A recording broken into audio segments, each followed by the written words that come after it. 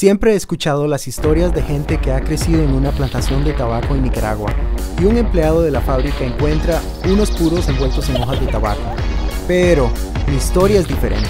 No es una de las historias tradicionales, pero es mi historia. Cuando era niño me gustaba jugar que fumaba un puro como Boss Hog. Fue ahí donde supe que me fascinaban los puros.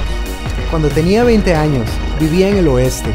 Un día estaba con unos amigos disfrutando de un tubo a Montecristo no como los hechos a máquina que se encuentran en cualquier tienda. Era el primer puro fino que fumaba. Ahí decidí ir a casa y buscar la manera de entrar a la industria del tabaco.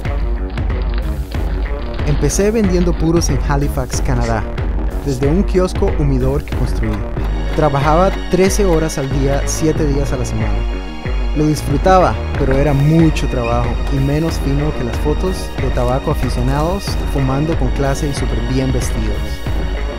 Después de muchos altos y bajos y la ayuda de muchos amigos, me establecí en Halifax con mi tienda de puros, Smoke on the Water. Desde el 2003, muchos de los mismos clientes nos visitan para socializar, reír y disfrutar de un buen puro. Empecé a obtener más conocimiento y aprender de muchos distribuidores y manufacturas en diferentes shows y expos.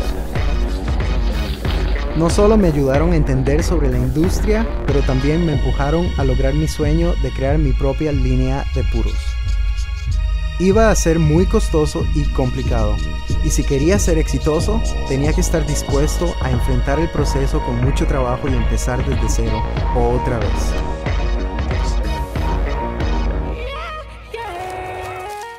Así que, sabiendo todo eso, decidí hacerlo con toda mi entrega. Empecé viajando mucho a Miami.